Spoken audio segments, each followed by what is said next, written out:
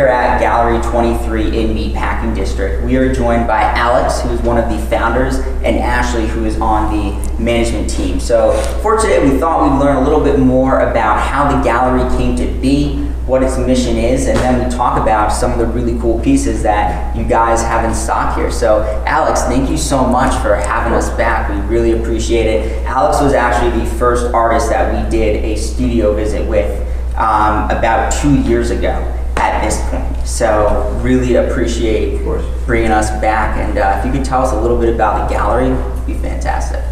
So this uh, gallery was opened up at the original location on 23rd Street, and it was sort of an experiment. Um, when my partner David reached out to me, and he wanted to put together uh, a little expo of myself and the artists that are my friends and everything, and we put it together, and it seemed to work out really dope. Okay. The feedback was really cool, even though we've opened up one week after the pandemic started, so it's the worst timing ever. But we weathered the storm somehow, and we've managed to open up a second place. We've uh, gotten our 501c3, so now we are a Okay, nonprofit nice. organization. So we do operate as a regular gallery, and also we have the second element where we're going to start doing a lot of different things for the city, for the kids, murals. We're going to try to give as much back to the community as possible. Yeah, I think you also mentioned doing like some classes Yeah, as well. yeah. I think that's so cool because a lot of times when people come to galleries, they're just kind of focused on the art as they should be, right? Because the art is kind of like the focal point. But any way you can kind of take it a step further, getting involved in the community, it just not only does it make a ton of sense, but I think it also inspires people, particularly some of the younger folks as well. Um, Ashley, so can you tell us what, what is your kind of role in Gallery 23? Yeah, sure. So I'm the director and manager of Gallery 23. So I'm mostly at this meatpacking location where we have a lot of group shows and solo artists as well for um, different events that we have. So opening receptions and nonprofit events as well. I'm also kind of managing the 23rd Street location where we just launched a print shop about this past month in December. So um, lots of really exciting things where we have a lot of our artists we, that we have here, and we have a lot of limited edition prints. So is this kind of like the new 23rd Street location with the artists? Are you still showing art at Gallery 23 or is that now kind of like a full-time separate type of operation? So 23rd Street is more of the print store now. Okay. A lot of our artists here have prints, and that's what we're showing over there because it's a smaller space, so Got it. it feels a little more intimate with those. Got it. Whereas over here is a grand space, and we have, you know, look at these mammoth-sized paintings throughout. We have the ginormous Rospino. I can't fit that through any door at all. like literally, I can't fit it through any door at all. You know, stuff of that nature stays here. You know, it's funny just just looking around and seeing the different artists that that you have. How do you go about sourcing them? Do they come to you? Do you have people that are kind of like scouting for art? Like, how does someone go from you know making the painting to showing up in your gallery? I mean, we all we're all from the art field, and we have a lot of connections, and we know a lot of people growing up. Like a lot of a lot of these people are my personal friends that I grew up with. You know, I actually have some friends that she uh, worked with. You know, my Okay. friend Omar. Like, there's a lot of us that kind of just worked together for many years, and this is just a, sh- a shelter for all of us to be on, you know, under one roof. Yeah, it's fantastic. One of the folks that I work with always says like never burn a bridge. this is this is a perfect example of that. Um, let's talk a little bit about this piece. I saw something similar in the window. You know, one thing that I personally kind of like is things that are you know mixed media, colorful. It looks like there's a lot going on here. So, can you tell us a little bit about the artist and a little bit about this particular piece? So this is Omnia Jolie, a very good friend of mine uh, for many years now, and she just started skyrocketing in the art community. She's doing some phenomenal work. And um, this is a uh, painting of Marilyn Monroe. We have this one and we have another one in the window, very similar, but this one has a little different take. Personally, this one's my favorite because of the the whole uh, the sun the sunrise in the back. And it's a mixed medium project where she did an acrylic uh, painting, coated it with resin, and then she has layers of different textures with glitter, uh, mirror, and color coordinated glass all throughout. Be careful, don't get too close. Yeah, that's uh, that's so cool. I like it when pieces have different kind of effects. And uh, on that note, there are actually some awesome pieces that we were looking at um, earlier today down this way. So while we're heading down, just take a look at this space. You know, one thing that I love about these types of galleries, instead of a lot of the museums that we see, is the museums, the spaces are, uh, for the most part, they're new spaces, they're totally renovated, totally redone. I think this really captures the essence of Meatpacking District because meatpacking is supposed to be very industrial, um, and that's what we're able to see here.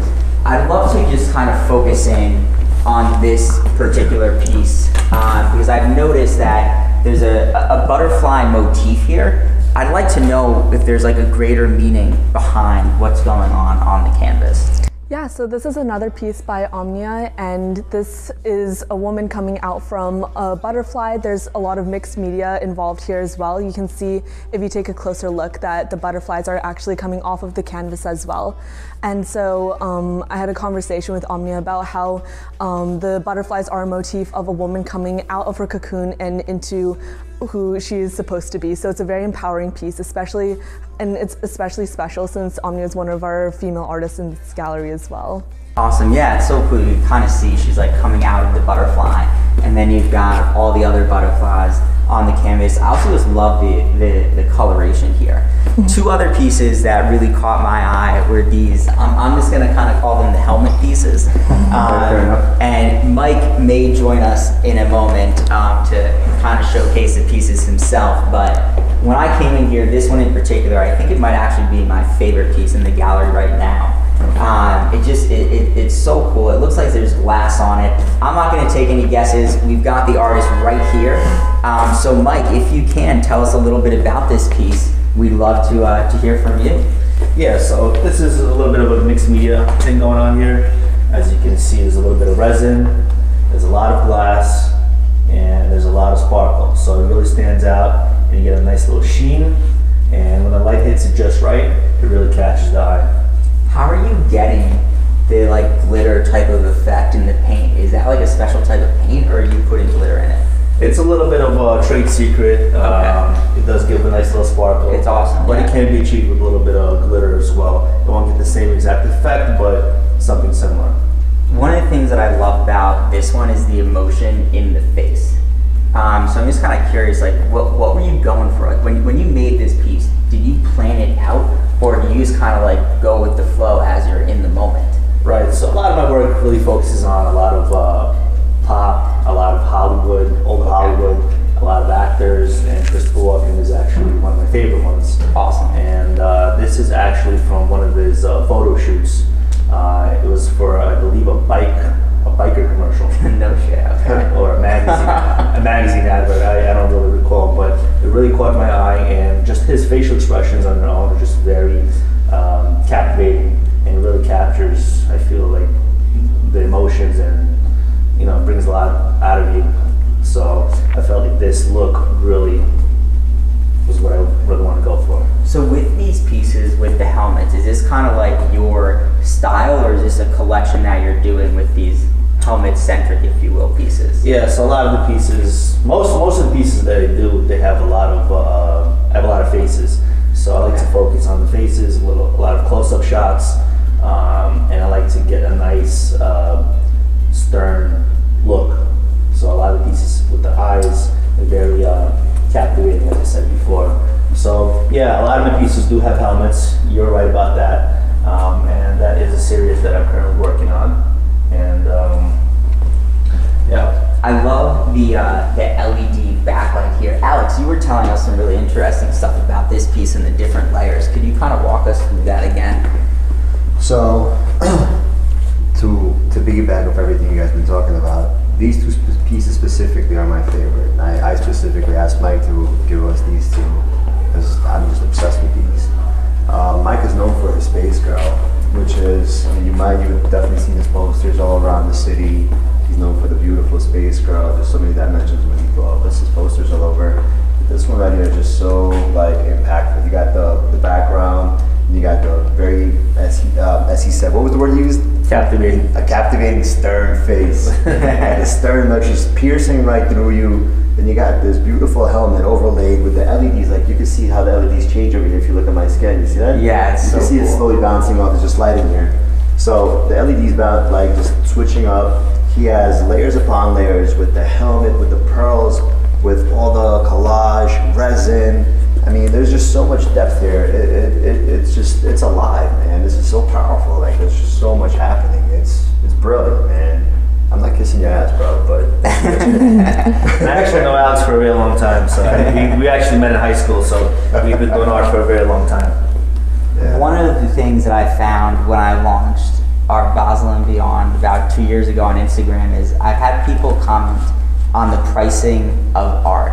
And I've always found that to kind of be like a little bit of an opaque space. But when I look at art, to me, it's more than just kind of like what meets the eye.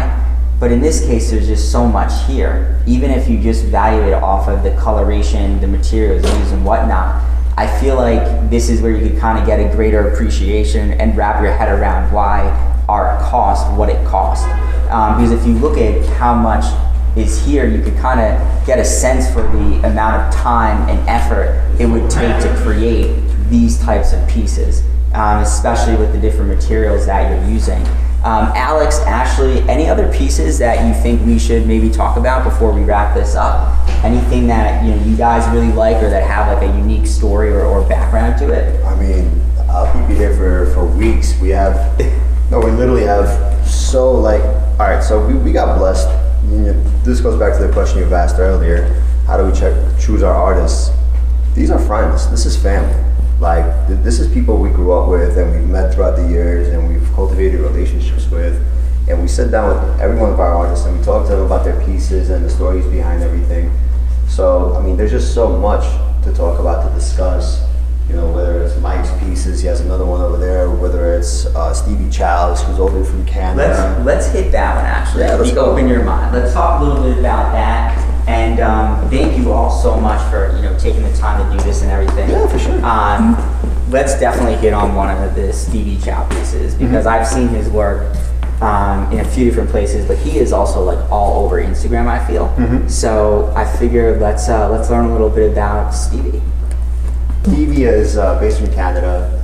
We showed, we had a solo show for him at the other gallery uh, maybe a half a year ago. Okay. Incredible person, very humble, very just genuine human being. So you are what you eat. It's pretty self-explanatory. As you can see, he's reading a book. He's learning about love, and therefore, in a sense, what you and this is actually interesting because I always say eat love. So you are what you eat. He's eating that love from the book. He's reading the book and absorbing it all. So he is becoming that love that he is absorbing inside. So I love it. it's it. just it's fun how it just kind of like loops around. It's cool. It's Yeah. cool like that. Um, let's definitely be sure to, to get a, a, a close up on this. Um, so you said he's based out of Canada. Yeah, he's a Canadian-based artist, and I love how he uses his vibrant colors with the black and white and the classic. You know, he has that he has that notor- he has that signature drip that he does when he makes his colors bleed. Okay. So you can see a lot of that happening over here, especially. I mean, it's bleeding all over, but like specifically here, you can see how the colors uh, blend into each other. Um, but his color uh, palette is also very much of the, the the grays with the black and white and the signature red. So he really struck it like it was brilliant. It's very cool. and he always uses them cl- the classic characters. You know, you even see the classic. Is that Mickey. Mouse, Minnie Uh-huh. Mouse? Which Yep. one? I get yelled at if I if I get the two wrong, so I gotta make sure I know what I'm looking at.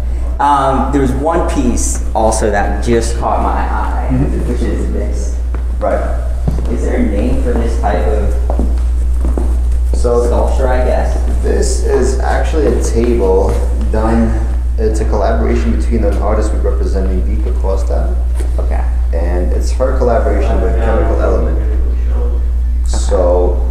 this is uh, this is a collaboration where they built a, a physical sculpture that is you know that could just stand there and just be admired, or it could be used as a table. The world is yours, a classic face. Scarface, of yeah, course. Exactly. I love You know where it's from. So it's, I've a, been it's an iconic. Yeah, it's very iconic, and she's known for her iconic art with um, with typically pop pop icons. So this is a new wave that she went on. She went this. Uh, she went more of like uh, contemporary art kind of feel, where it's furniture in a sense, like just like that glass, the mirror over there.